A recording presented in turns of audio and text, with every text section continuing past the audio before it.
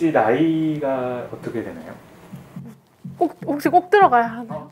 그 기후위기라는 이야기를 얘기를 했을 때 자꾸 기후위기 말고 나이에 집중을 해요 계속.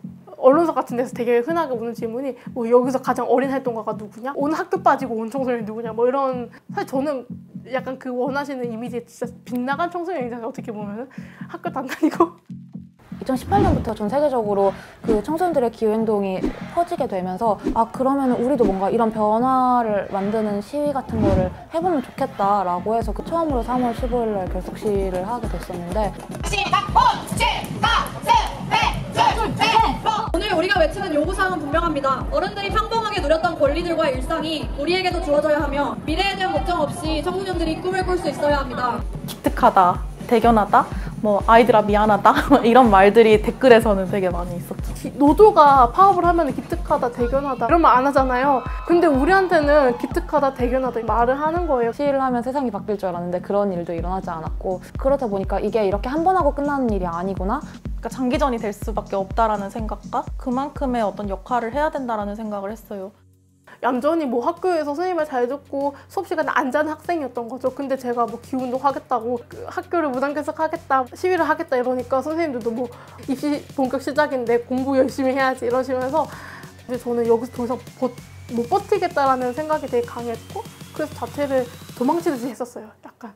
어, 학생이 시위를 나간다는 것 자체가 좀 불명예스러운 일이다. 학교 측에서는 어떤 징계라든지 하는 입장을 취할 수밖에 없다. 결국에는 이제 아침에 출석을 하고 1교시 시작 전에 학교를 그대로 뛰쳐나와 탈출을 해서 패기롭게 갔는데 무서워가지고 막 쫄아서 막 그때 엉엉 울고 겁도 많고 어른들도 되게 무서워하고 그런 권위 있는 사람들한테 말하는 것도 잘 못하고 우리 편이 되어줄 수 있는 사람을 만나기가 너무 어렵다라는 생각을 많이 했던 것 같아요. 시민사회 안에서의 교류도 있는 편인데 만나면 되게 좋다라는 느낌을 많이 받았었는데 나중에 가서는 결국에는 자기 사업 얘기를 하면서 돈을 달라고 하는 이야기들이 나오는지 모르겠고 자기네들 후원의 밤에 불러다가 발언을 해달라고 하는지 모르겠고 우리들이 상을 준비했으니까 너희들은 당연히 감사하면서 받으러 와야 되는 거 아니야? 왜 나한테 감사함을 표하지 않아? 라고 말을 하는지 모르겠고 너네가 이제 기후운동 만들고 사람들 관심 좀 받았다고 해서 어른들한테 이렇게 뭔가 친절하게 대하고 안 하면은 이 영역에서 살아남을 수 있을 것 같냐? 막 이런 이야기도 들었었고 저는 청소년들과 함께 있는 20대였기 때문에 이들을 뭔가 케어하는 사람처럼 많이 불려졌었던 것 같아요. 그래서 애들 통제시켜라, 정신 케어 시켜라, 옆에 있는 건 동료들밖에 없고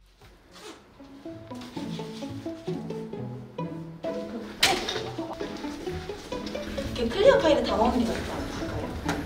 그 판은 어디 있어요? 괜찮아 나한테 줘도 괜찮아 두 분이 상대적으로 많이 좀 뭐라고 해야 되지 덜렁거리거나 사고를 치는 게 조금 많으세요 비교적으로 챙긴다라기보다는 보통 한 명이 발언을 해도 세 명이 다 같이 달라붙어서 수정하고 피드백하고 체크하고 약간 이런 과정을 계속 거치거든요. 그래서 제가 발언을 할 때는 보림님이나 현정님이 대신 그렇게 챙겨주시기도 하고 그런 게 있는 것 같아요.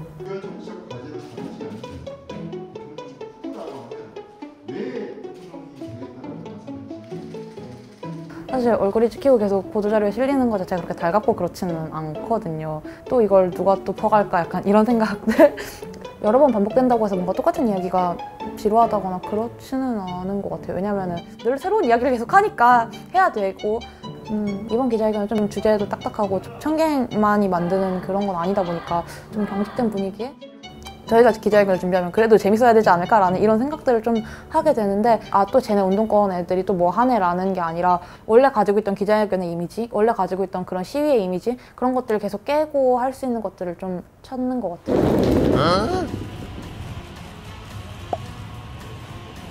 옛날 인터넷상에서 많이 사용이 되던 패러디인데 그냥 당근을 흔들고 있으면 말 못할 부당한 일이 있는데 말로 표현하지 못할 것들. 그러니까 이런 걸 말을 하는 메시지처럼 약간 사용이 되다 보니까 뭔가 말 못할 사정을 표현한다라는 의미로 썩은 당근을 부어버리자 그냥. 기후 정상 회의를 했었거든요 한번. 근데 그때 저희는 뭔가 새로운 NDC에 관련된 그런 이야기들이 나올 줄 알았는데 너무 잘하고 있다고 자처, 자화자찬을 하면서 발표를 하고 근데 결국엔 어떻게 줄이겠다라는 말이 하나도 없었던 거예요 썩은 당근을 217kg을 DDP 앞에 쏟아붓고 당근 페이스도 같이 쏟아붓고. 불법이 아니었고 깨끗하게 청소까지 다 완료했습니다. 어워즈도 했었다.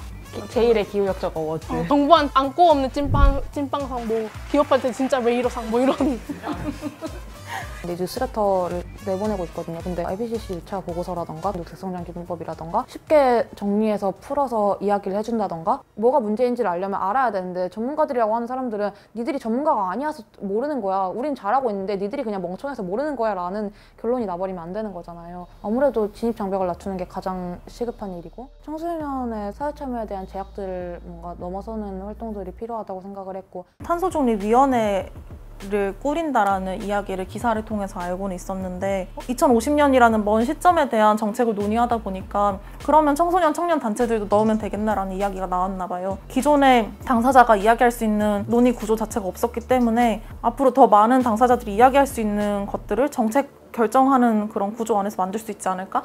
되게 많은 고민 끝에 어, 탄소중립위원회에 저희 내부에 있는 활동가도 들어가게 되었죠. 그리고 나서 논의되는 것들은 석탄발전소가 2050년까지 있는 안이 나왔던 거죠. 근데 거기에 대해서 이야기를 하면 뭐 위원장님이나 다른 몇몇 분들이 다들 석탄 얘기하니까 너는 그냥 결석 시 했을 때 애로사항이 뭐였는지 이런 이야기나 해라 라는 이야기들이 계속 반복이 됐었고 청소년이나 청년이라는 그런 정체성을 가지고 있는 사람들은 원하는 명분을 채워주기 위한 도구로서만 사용이 되다 보니까 아무래도 여기서는 변화를 만들 수 없다라는 판단이 계속해서 서게 된 거고 그러다 보니까 사퇴를 결정하게 된 과정이 있었던 것 같아요.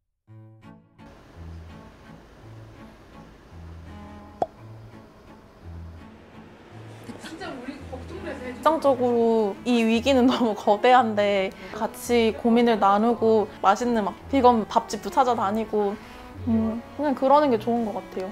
피켓들은 진짜 시각이겠다. 화려한 조명이 나를 감싸네. 잘 당근으로 때려주세요.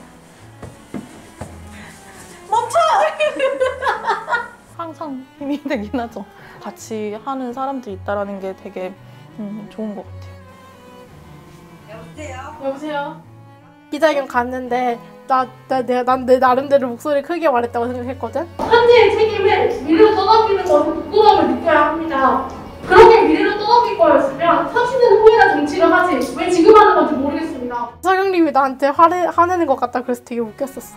뭐지 발언할 때 보면 조금 약간 진정해서 말했으면 좋겠다 뭐 이런 생각하지 기사 같은 거 뉴스 같은 것도 막 다 찾아보고 할아버지한테도 뭐 카톡 보내주고 또 뭐 작은 아빠 고모 엄마 친구들 다 막 자랑하고 다녔지 창피하다 진짜 제발. 현성이가 원하는 말을 빨리 성취해서 응. 울산에 와서 같이 살았으면 좋겠어 같이 살고 싶어 매일매일 보고 싶어 그래? 응. 응. 근데 엄마 기후위기 해결하려면 앞으로 수십 년 더 걸릴 거라서 그럼 나 엄마 평, 엄마랑 평생 같이 못 살겠네? 아 진짜 아무튼 우리 집이 안전할 수 없다라는 걸 좀 크게 느껴버렸던 것 같아요. 오래된 빌라에서 개- 그냥 평생을 살아왔었거든요. 근데 폭염 때 에어컨이 없는 그 집 안이 밤에 잠을 잘 때 가족 한 명이 잘못될 수도 있다라는 생각까지 드는 거예요. 여기서 뭔가 대피를 해야 된다라는 생각을 계속해서 하고 있는데 갈 수가 없는 거죠.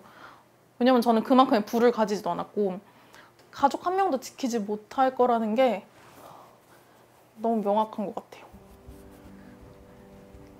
저는 그때 울산에 살고 있었는데 태풍이 두 번 지나갔었거든요. 원전도 두 번이나 멈췄었고 저희 집이 원전으로부터 30km도 안 떨어져 있거든요. 그래서 원전의 상태를 계속 확인할 수밖에 없는 거예요. 늘 아, 내가 여기를 멀쩡하다고 믿었고 안전하다고 믿었는데 전혀 그렇지가 않구나.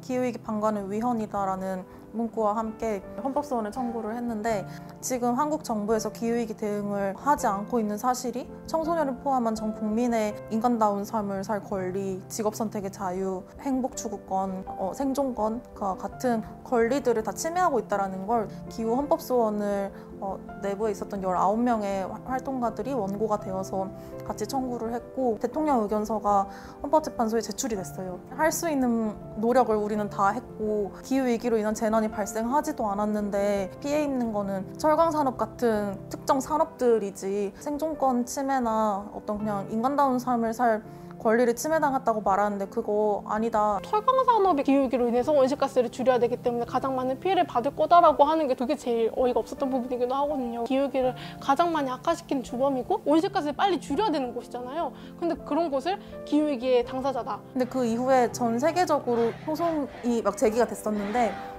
그게 다 승소가 되기 시작한 거예요. 독일 헌법재판소에서 기후 소송에 대해서 승소하고 기후위기 대응 더 잘해야 된다라는 결론이 실제 막 그런 해외에서 나기 시작을 하면서 한국에서도 계속 지금까지도 보충 서면 제출을 하고 어, 헌재의 응답을 기다리고는 있는 중에 있어요. 청갱 활동을 하다 보니까 실제로 만난 기후위기라는 게 고민을 되게 많이 했었는데 뭔가 사실 저는 그러니까 지금 당장 재난이 와도 죽거나 또는 직접적으로 엄청나게 큰 피해를 입을 대상이 아니기는 해요. 그냥 당사자라고 말했던 그런 청소년들 또는 실제 기후위기 재난으로 인한 피해자 또는 가장 먼저 피해를 입을 사람들이라고 말하는 그런 사람들이 너무 당연한 게 아니라 약자라고 부르고 그렇게 만들어진 사회 자체가 잘못된 거구나 그렇기 때문에 기후 문제가 단순히 환경 문제라고 어떤 한 카테고리 안에 취급될 수 없고 정의의 문제로 끌고 올 수밖에 없는구나 라는 걸 뭔가 체화하게 되면서 모두가 안전할 수 없다라는 말이 어떤 건지 좀 이해가 가더라고요. 대담하지는 못해요. 그러니까 뭔가 발언하거나 기자회견하거나 할 때마다 매번 떨리고 옆에서 사진 찍는 사람들은 계속 늘어나거든요. 최근에 대선 후보들을 만나고 왔는데 정말 긴장됐거든요. 그냥 TV에서만 보던 사람들이었고 또 가가지고 막 덜덜덜덜 떨었었어요. 막. 같이 모이면 용기가 생겨요. 그러니까 혼자서는 내가 할 수 있는 게 이거밖에 없지라고 생각을 하는데 같이 모이니까 할 수 있는 게 그래도 더 있을 거야. 우리는 할 수 있어라는 생각을 좀 더 하는 것 같아요. 우리는 실제로 변화를 만들고 나니까 진짜 더 큰 변화를 만들 수 있는 사람들이라는 거를 너무 잘 알 수 있었고 송소리면서 못할 게 뭐가 있지라는 생각이 되게 많이 들었던 것 같아요. 우린 더 큰 변화를 만들 수 있는 사람들이라는 거 스스로 음, 믿었으면 좋겠어요.